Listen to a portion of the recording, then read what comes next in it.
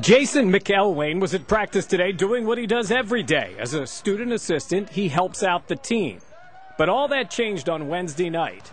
That's when Coach Jim Johnson decided to give Jason his shot to suit up and play. He said this is your senior present, this is your last last chance to ever get out on the floor as a actual basketball player for that night. Jason, or J-Mac as he is known, is medically diagnosed as highly functioning autistic.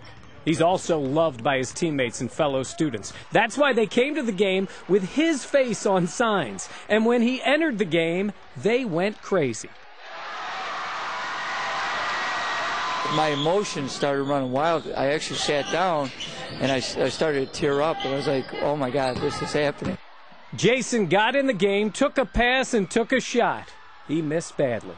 First possession, he gets the ball. He shoots an air ball. He misses like by six feet. And I put my hands in my head. I'm like, please, Lord, just get him a basket. One minute later, he got his hoop. A three pointer that set the gym on fire. I was very excited. Uh, the team was excited. Um, everybody else was excited. But J Mac wasn't done. He kept shooting and kept hitting. Another three and another three. I was on fire. It was hotter than a pistol.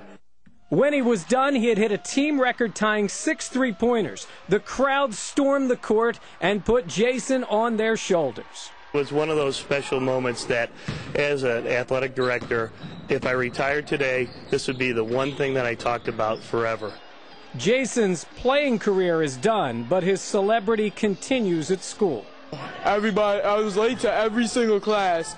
Every everybody was saying congratulations. So you got a superstar on your team now. Yeah, he's like a celebrity in school.